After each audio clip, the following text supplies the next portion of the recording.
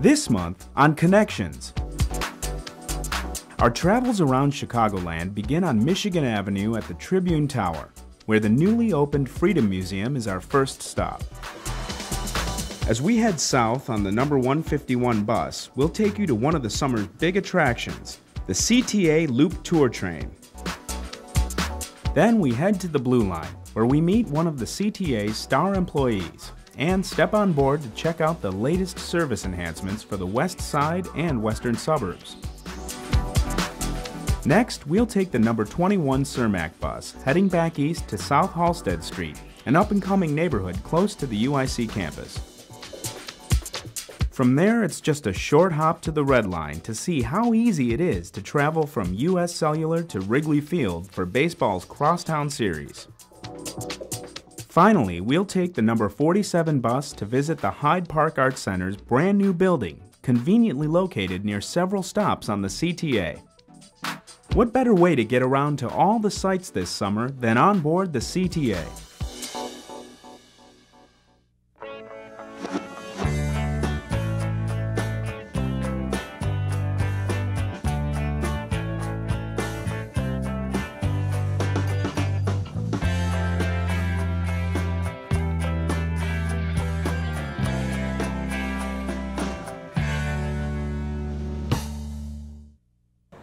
I'm Dale Rivera. Welcome to Connections, where you can learn all about using the CTA in and around Chicago.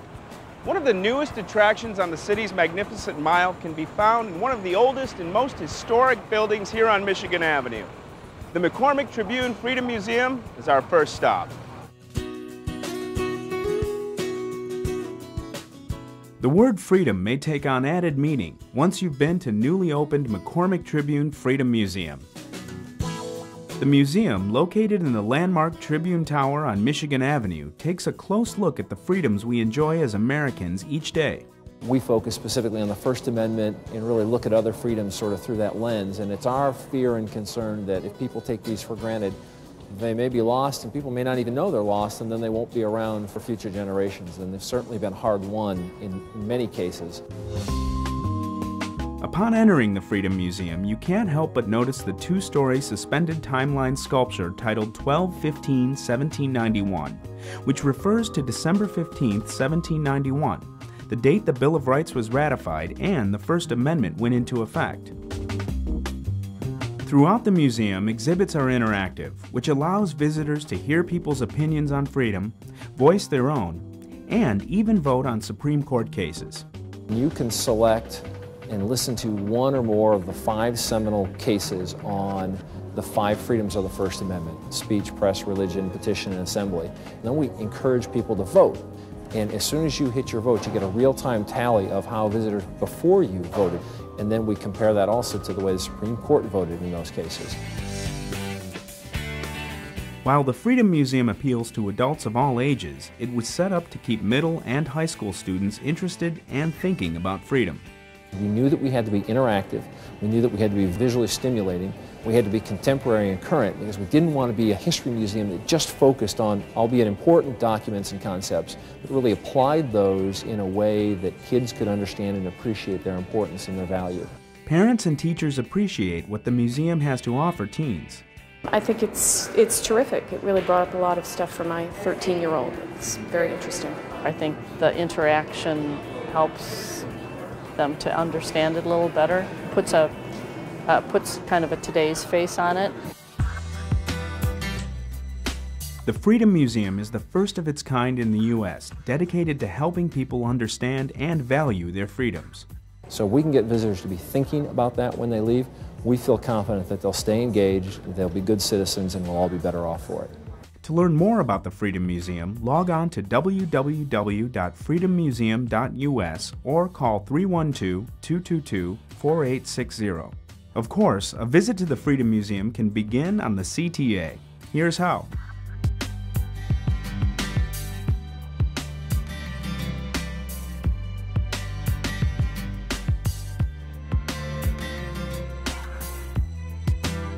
So take in a visit to the Freedom Museum and let your journey begin on the CTA.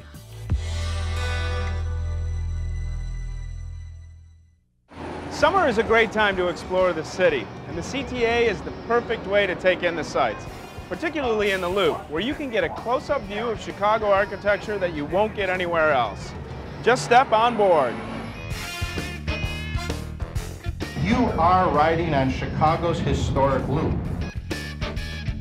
For a perspective on Chicago unlike any other, ride the rails of the Loop Tour Train.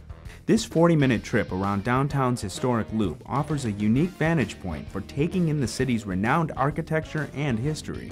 You'll learn a little bit about Chicago's architecture. They really get a, a chance to see up close and personal how the different buildings have changed over the 130 years that we've been building here.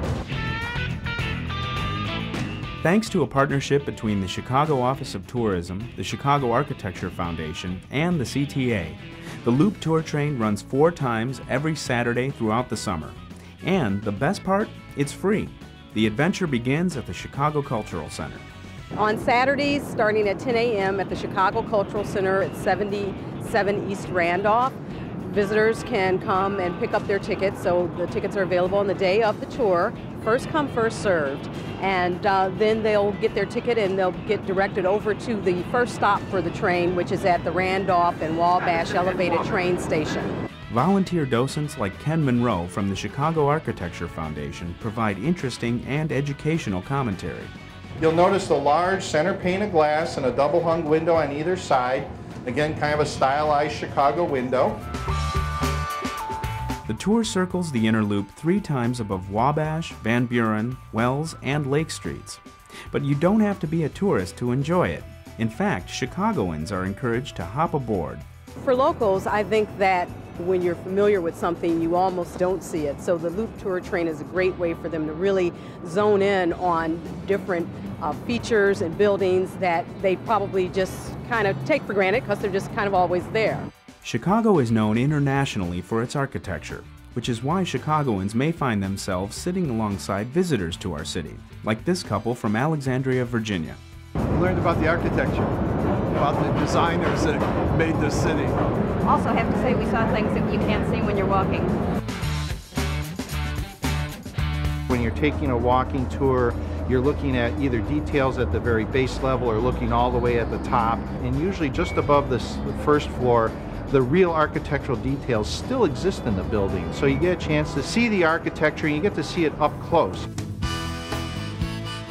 The Loop Tour Train runs every Saturday at 11 a.m., 11:40 a.m., 12:20 p.m., and 1 p.m. through September 30th. For more information, call 312-744-2400 or log on to www.cityofchicago.org forward slash exploring Chicago. The price is right and the, the feeling is great. And it just gives you an insight depth to the city.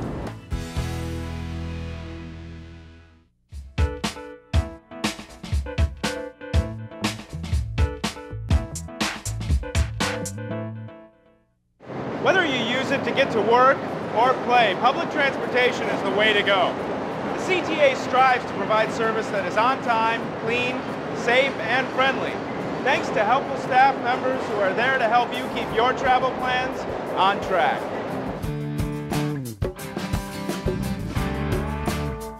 Need help with a fare card or where to transfer to another CTA train? Don't know who to ask? CTA customer assistants are there to help make your travel on the CTA a smooth ride. A lot of people may have questions about how much the fare is, how to get from point A to point B, and I just try to break it down as easily as possible. Robert Kempfe has been assisting Blue Line customers for more than 10 years. That includes handling everything from special needs to the usual questions and the occasional crisis. I left my backpack on the train. We had gone over to the red line. I realized I didn't have it. We ran back, and there was Robert. And I told him what happened, and he um, he took care of it. I was able to notify our control center to have the operators check their trains, and it was actually turned into another customer assistant. So we're able to reunite them with their personal items. It made me feel pretty good. I mean, you always hate to hear about somebody losing or forgetting something. Talk about a job well done. It's easy to see why, for the second year in a row, Robert has taken home first prize in the Customer Assistant category of the CTA's annual rodeo. It's a competition where customer assistants are judged and scored on the tasks they perform every day on the job. There's a lot of competition. You got quite a few employees now that are looking after him, saying they're going to take his throne from him at this time. He's won two times in a row. He can't do it third time. I'm going to learn a lot from you, and I'm going to beat you this year. It's no wonder competition is fierce. Robert is already looking forward to next year. I just wish everybody the best of luck and may the best person win. But at least one customer thinks Robert already has. I think he's fantastic. Maybe I can nominate him for next year.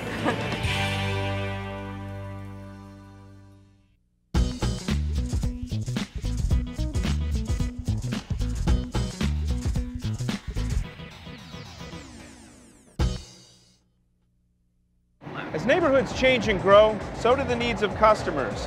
The CTA works hard to meet those needs with enhanced service to areas like this one on the west side, where more and more travelers are choosing the CTA. For more than two years, the CTA studied transit needs for the west side and west suburbs and has developed service enhancements for both bus and rail to meet the needs identified as a result of the study. Starting later this month, the CTA is implementing these service enhancements on an experimental basis. We've seen tremendous growth on the west side. New development, new homes going up, new business. It's a vibrant community. CTA has redesigned its service to better suit the needs and serve our customers, give them a faster trip to downtown, more travel options, better connections whether they're coming downtown or within the West Side community. In addition to reviewing employment patterns, residential patterns, and development trends, CTA staff also worked with elected officials and community members through interactive workshops to redesign service. Our planning department spent a long time surveying our customers, looking at ridership data, and really taking a, hard look at how the West Side service was presently being operated. Out of the West Side and West Suburban Corridor study came a service plan that includes adding five new bus routes, extending four existing routes, improving the routing and scheduling of four established routes, and incorporating two bus routes into other service. A new rail line is also part of the plan. The Pink Line will travel the same route as the 54th Cermak branch of the Blue Line to Polk Station. Then travel across the recently rehabilitated tracks along Paulina to join the Green Line at Ashland and travel through the loop on the elevated tracks. The experimental service is designed to benefit customers with more frequent service, faster travel times, and better connections between CTA bus and rail. The changes to the west side and west suburban bus routes include establishing three new express routes the X9 Ashland Express, the X20 Madison Washington Express, and the X54 Cicero Express, which connects CTA customers to Chicago's two airports. The X54 Cicero Express route uh, will connect to the Jefferson Park Blue Line of the O'Hare branch, which allows that connection to O'Hare Airport. In addition, on the southern end, it'll connect to Midway Orange Line Station. Two new local bus routes also help improve CTA customers' daily commutes. The number 38 Ogden Taylor route links the west side to Metra's Ogilvie and Union Stations, UIC, and the Illinois Medical District. Also, the new number 127 Roosevelt Madison Circulator replaces the number 127 Northwest Madison route and connects Roosevelt Station on the orange, red, and green lines, Metra stations, and the Illinois Medical District. As part of the bus service enhancements, four existing West Side routes are being extended, and four other existing routes are adjusting routes and schedules. Here's a look at the routes slated for improvement.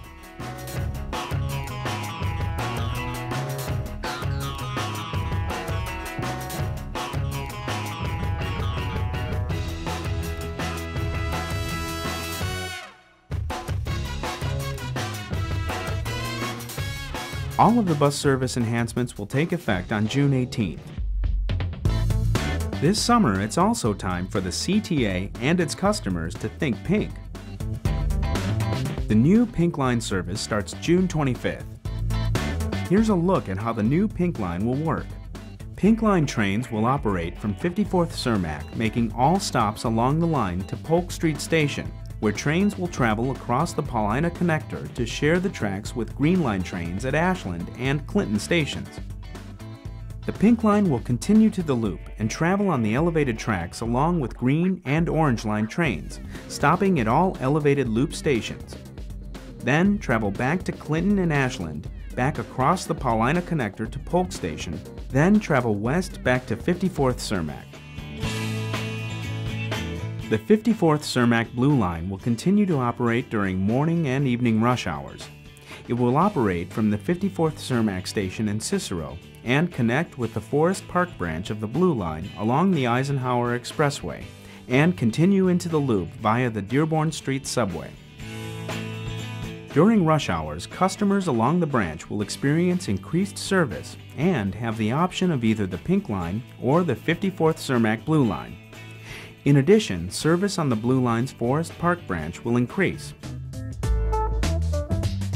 The Pink Line got its name after nearly 600 students from kindergarten to 8th grade nominated colors to name the new line, along with essays explaining their choice and how transit service was important to their communities. The author of the winning essay receives a $1,000 U.S. savings bond and the chance to be one of the first to ride the new Pink Line.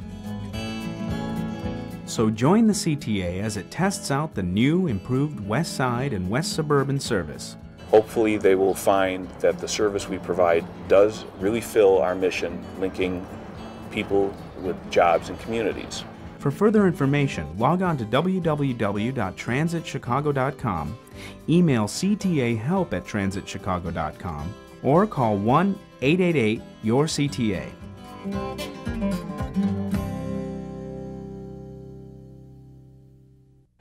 The number 21 Cermak bus will take us east toward Halsted, in a neighborhood that blends the old and the new. Just transfer to the number 8 Halsted Street bus, head north a few blocks to the Roosevelt stop, and step right into University Village, our destination.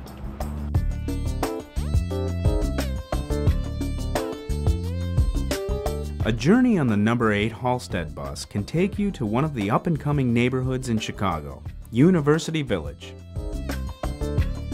Step off the number 8 at Halsted and Roosevelt, and you're in the heart of University Village, a 58 acre community named for its proximity to the University of Illinois at Chicago campus. The area boasts 800 residences for UIC students, with an additional 750 dorms in the new Stukel Towers, which is currently under construction. The dorms blend with a collection of new housing, including historic lofts, condos, and townhomes. Tree-lined streets and open green space add a real neighborhood feel. A centerpiece of the community is University Marketplace, hosting a number of shops and restaurants that are bringing in the crowds. One place you can meet the locals and take in the scene is a new restaurant on Maxwell Street, Hash Browns. Bring a big appetite when you sit down at Hash Browns. They're cooking up standard breakfast fare, but with a twist. Be sure to try their house specialty, which keeps customers coming back for more. The hash browns, the hash browns. I've tried to replicate them at home. I've come close, but I haven't really hit it yet. So I'm still trying, but uh, that's definitely a reason to come back. Hash Browns hash browns are made with sweet potatoes or white potatoes. And if you like your spuds, you can even order an entire plate of them. Hash Brown's customers are also coming through the door for the omelets, which are all about Chicago. A favorite is the Maxwell Street omelet. What's in it alone explains Maxwell Street, you know? The Polish, grilled onions, and the pork chop. That explains it all here. Anyone that comes here loves it. They really do. So once I get you in the door, you'll be back. You'll inquire a taste for one of my omelets. Everything is fresh, nothing's frozen. With a full belly, you might be looking for someplace to relax, and a short walk will take you to Barbara's Bookstore. Barbara's is a Chicago original that first opened in Old Town in 1963. It's now an expanding chain with its flagship store that opened in University Village in 2004. Still, what makes Barbara's unique is the books you'll find at the store. It's not a cookie cutter corporate store. Uh, we, we cater to very literary minded people. We carry all the same mainstream books that you might find in some of the other bigger stores, but we also carry a lot of what I would consider middle tier publishers, uh, books that you don't find in your typical bookstore. Barbara's takes a very personal approach when it comes to book selling. The staff are book lovers themselves, and you can find out their thoughts on certain books by reading their handwritten recommendations. Everybody in the store has their own genre that they really pay attention to, so you usually find in all of our bookstores someone that has an idea about all of the different topics. Barbara's has pulled in some big names in literature over the years, including President Bill Clinton. And if you're looking for a signed copy of a book from a visiting author, Barbara's may have it, as signed copies are also sold in the store. If you not only want a recommendation on a good book, but also on a good bottle of wine, step a few doors down from Barbara's to Lush Wine and Spirits. This new wine store specializes in boutique wines from around the world. We focus on the very small and artisanal boutique wineries, and so that way you always get a new product that you've never seen before, heard of before, and we just celebrate diversity.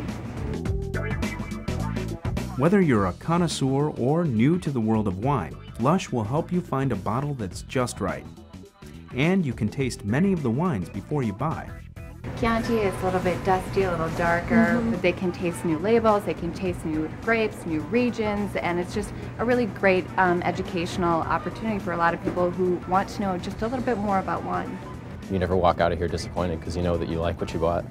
Bottles of wine at Lush range from $8 to 180. So whether you prefer red or white or something in between, there's something for the wine connoisseur in you. So step on board the number 8 Halsted bus and head to University Village, where you can enjoy a big breakfast, a good book, and a unique glass of wine while you explore one of Chicago's hottest new neighborhoods.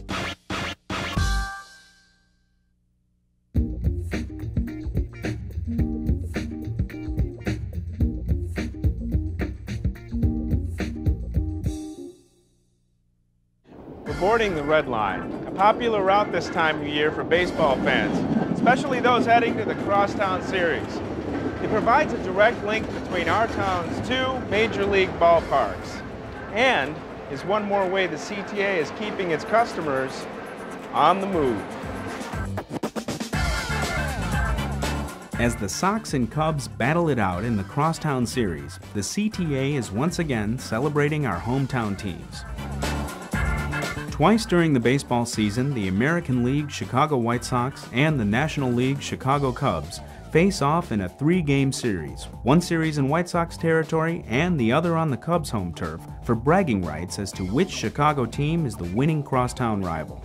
This is the ninth year that the CTA has handed out its commemorative poster to baseball fans before each of the Crosstown Series games.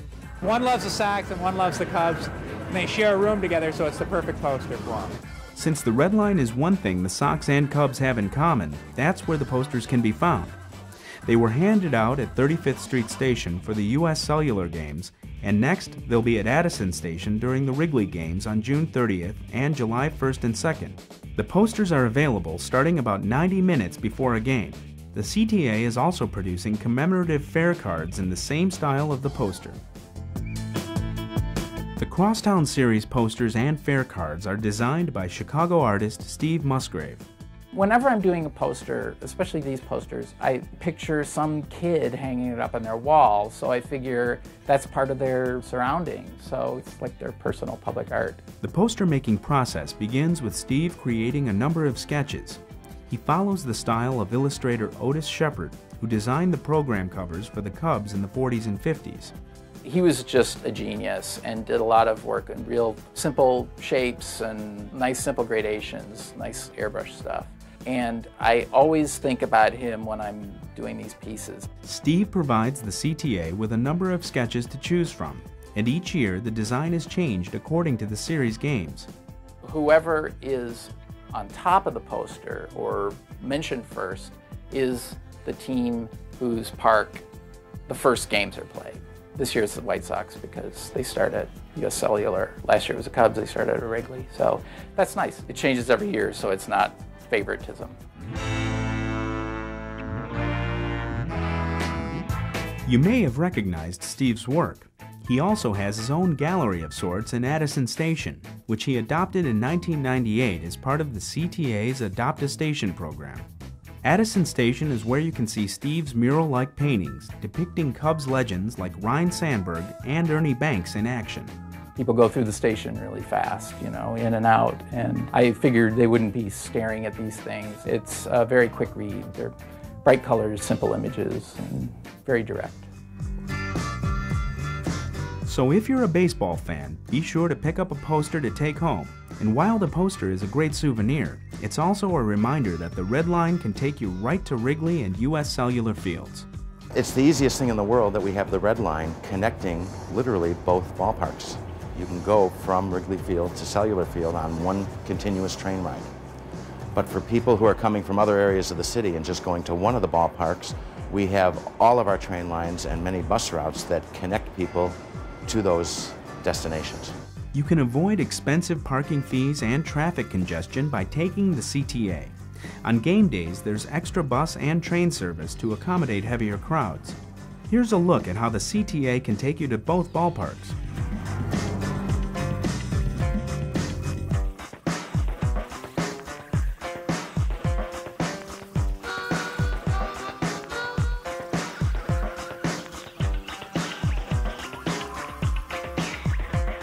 So be sure to take the CTA to crosstown games and pick up a commemorative poster along the way.